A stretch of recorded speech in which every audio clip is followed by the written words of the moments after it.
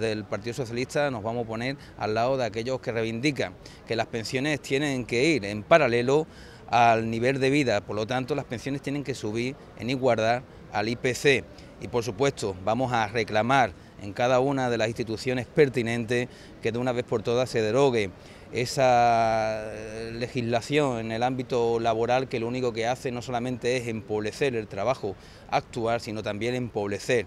el futuro de las pensiones de todos los que en este momento están cotizando.